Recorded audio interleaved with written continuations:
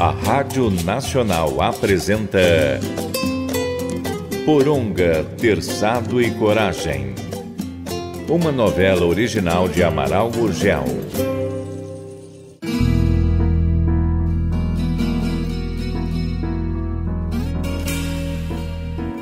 Todo dia um desafio novo. Qual aventura podemos esperar da floresta em mais uma jornada?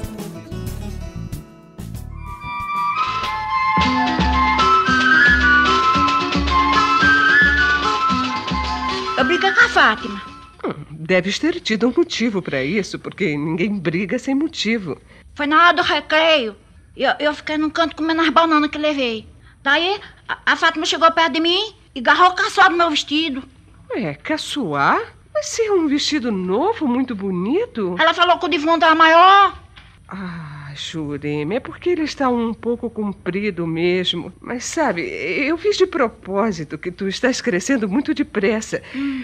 Mas amanhã eu faço uma barra, mesmo que depois eu precise desmanchar. Não, tia, deixa assim mesmo. Que ninguém mais vai falar dele. Acho bonito e pronto. Ah, então, isso mesmo, assim é que se fala, Jurema. Como vês, não precisavas brigar. Ela se falou, só pode ser por inveja. Ela é invejosa mesmo. Ela tava comendo bolacha com doce e, e botou a mão suja em mim. Sujou o vestido. Ah, isso a gente lava. A o dela não vai dar pra lavar. O quê? Porque eu sentei a, banana na cara dela, amassei no focinho dela. Depois a gente se pegou, ralemos no chão, rasguei o vestido dela de arta abaixo. Olha, não era preciso tanta violência, Jurema. Cansei de apanhar de gente grande. Agora gente do meu tamanho, em pé de maior porte, como a Fátima, se me provoca eu suo. Por isso a professora te mandou para casa. Não, ela separou a gente. Hum, Depois queria que nós fizéssemos as pazes. Então. A Fátima tava chorando e, e que me dar um beijo. Eu sentei a mão na cara dela. Oh, mas Aí- Jurema. Aí a moça mandou nós duas pra casa e, e diz que, que vem falar com a senhora. Tá. Tá tudo bem, querida. Agora, tu vais prometer que não brigas mais. Só faço. Agora, se o Tubeto quiser me bater, eu não reclamo. Ele não vai te bater, eu prometo. Sabe, o Beto ele fica triste, mas ele te quer muito bem. Agora vamos botar um vestidinho limpo e vamos almoçar. E o Luiz? Como vai com a plantação dele? O Chico me disse que ele fez um pequeno mandiocal. Hum. Mais uns dias estará brotando. Avisar o rapaz que não deve plantar mandioca entre as seringueiras? Ah, ele tá sabendo. E já disse que não plantará nada entre as seringueiras, pois tem terra de sobra. Ele gosta da terra. Hum? Olha, a Jurema já me explicou o que aconteceu e por que foi o castigo. Alguma traquinagem de criança, com certeza. Não, é que quiseram zombar dela, foi provocada e.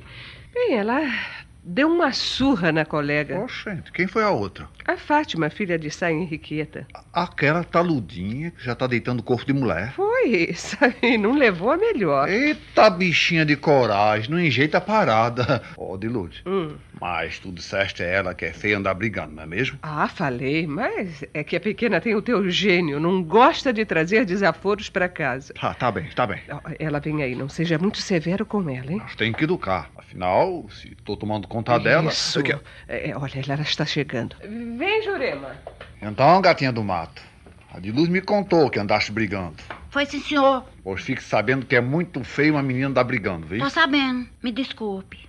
Vai me prometer que não irás brigar outra vez. Mesmo que me provoque, Há há casos que. se não me amolar, eu não brigo. Agora, pode me castigar, que eu não vou ter raiva do senhor. Mas, por favor, não bate com muita força.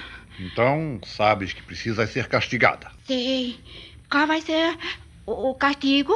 Bem, por esta vez, me dás um beijo e vamos almoçar que é tarde. Ô, Tibeto! Tibeto, o senhor é o melhor homem do mundo. Pena que, que já casado não vai poder casar comigo. Ah, isso. Mas aqui estou eu que sou solteiro. Não quer se casar comigo? Não, senhor. E por que não? O senhor é velho, o bigode tá branco, Ah, ah, que nem era do meu avô. e depois o senhor tá hipotecado. O, o- o- hipotecado? Que história é essa? Foi o Timildinho que falou que o senhor tá hipotecado com a tia Cris.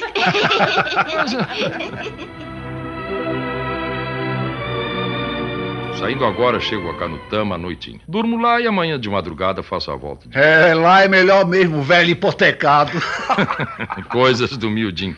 Mas esse caboclo me paga, hein? Ô, minha Nossa Senhora, que foi que eu fiz, patrãozinho? Nada. Só estou dizendo que vou pra Canutama agora mesmo. Tá, tá certo. Quando quiser, é só falar que eu tô pronto. Tu ficas. Dormes aí em qualquer lugar. Amanhã, quando voltar, eu te apanho. Aproveitas para colocar o motor na canoa do Luiz. Poxa, já apanhei, Manutel, e fiz bom serviço. Mesmo assim, ficas aqui. Tá certo, já entendi. Entendeste o quê? O senhor vai pagar o juro da hipoteca.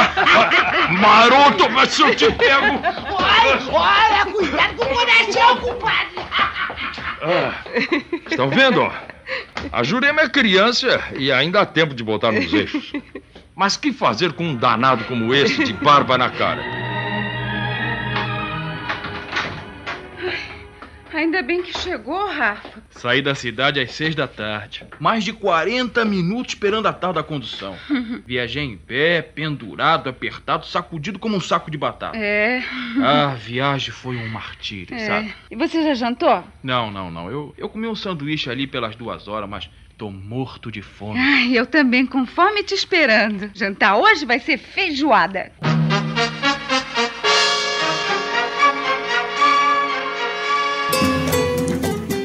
Estamos apresentando Poronga, Terçado e Coragem.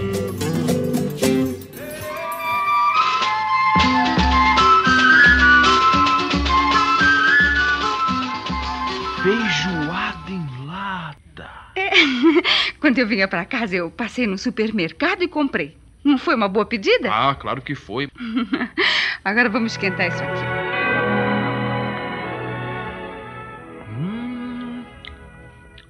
Isso tá uma delícia. Ah, o povo diz com razão que a fome é o melhor tempero. Agora me diga uma coisa, Esther. Hum, hum. Como é que foi as tuas andanças? Tu conseguiu alguma coisa? Ai, nada de nada, Rafa. Percorri os teatros todos, menino. Um- umas duas ou três companhias vão bem, né? Mas hum, não tem mais lugar pra ninguém. O resto, mal termina o espetáculo. Hum, olha, ainda com a cara pintada, os artistas formam fila diante da bilheteria para conseguir um vale. Puxa, eu vi gente de cartaz procurando emprego. E eu? Logo me perguntavam se eu tinha experiência e quando eu respondia que tinha trabalhado em pavilhões, né? Torciam a cara, rapaz. Dramalhões antigos, né? É, então tu não conseguiu nada mesmo, né? É. É, mas em que mundo louco a gente tá vivendo, hein, Esther? Hum, Eu acho que estamos indo é pro fim do mundo. é, pois eu acho que o mundo já acabou, viu, Rafa? Existem bonecos aí, teimosos, né? Que pensam estar vivendo. Um dia as bombas acabam com tudo e só depois aparece gente. Gente melhor do que as criaturas de hoje. Não, não, igual. Porque o homem é bom, Rafa. O mundo é que tá podre. Bom, mas vamos comer que amanhã eu vou sair outra vez e, se Deus quiser, ir de encontrar trabalho.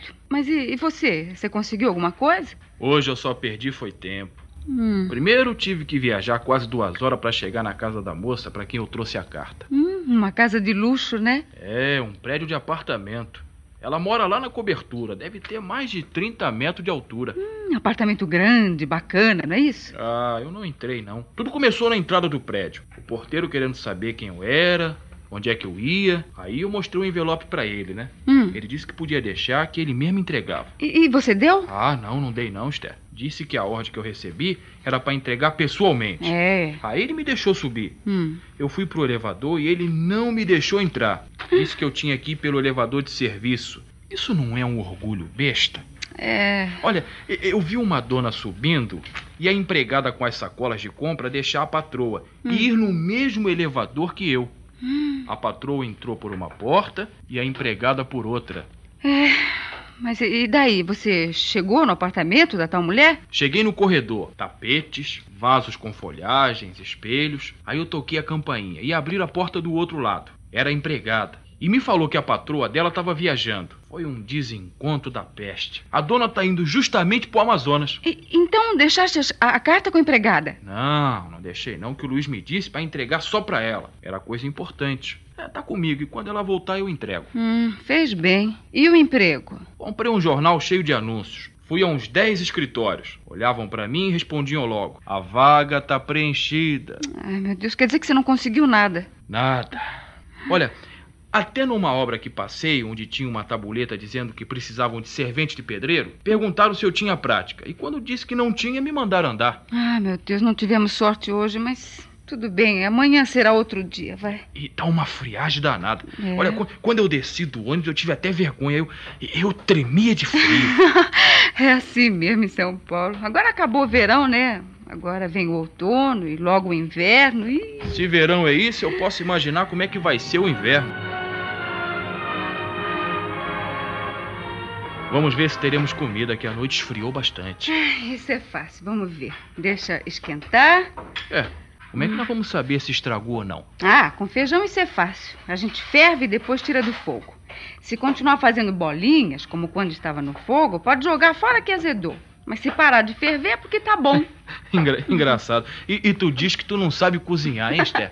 Eu não sei mesmo, mas. Ai, é que na vida que tenho levado aprendi muito sobre comidas estragadas. Quanta coisa eu tô aprendendo contigo, Esther. Pelo amor. Não é a primeira vez que passo apertura. Dessa vez ainda temos uns trocados, né? Aí. Oba! Tá aqui o feijão, ó. Saiu do fogo e parou de ferver, né? Ih, rapaz, o frio da madrugada não deixou estragar. Rafa, estamos com sorte hoje. Pega teu prato e o pacote de farinha. Ah, vai. é pra já, é pra já. Bom, vamos comer e depois sair pra procurar emprego que se nenhum dos dois arrumar trabalho antes do fim da semana, a gente vai pra rua. Quando eu estava na casa do meu pai, a comida não era muita, mas é a primeira vez que tô vendo miséria de verdade. Arrependido? Ah, desde que passei aqueles dias no hospital em Belém que comecei a ver a mancada que dei. Ah, pelo jeito tô vendo que você deixou alguém à sua espera lá, né? Não sei se vai me esperar, mas eu deixei. Droga. Tô vendo que mais cedo ou mais tarde a gente vai ter que se separar. Oh, meu Deus, eu sou uma idiota mesmo. Nunca aprendo. Nunca aprende o quê? Ah, deixar de romantismo, de, de fantasiar bobagem. Rafa, mesmo assim, O que foi que te deu, mulher? eu te quero, Rafa. Acho que te quis desde o primeiro dia. Eu sei que vou me machucar, eu vou apanhar mais um pouco na vida, vou sofrer pra burro, mas. Ai, Rafa, me beija, vai, me abraça. Espera, Esther.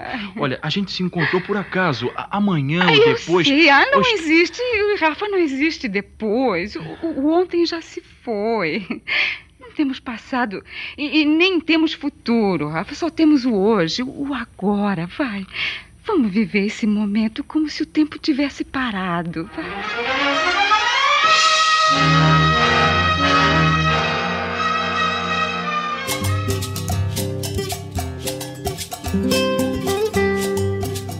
A Rádio Nacional apresentou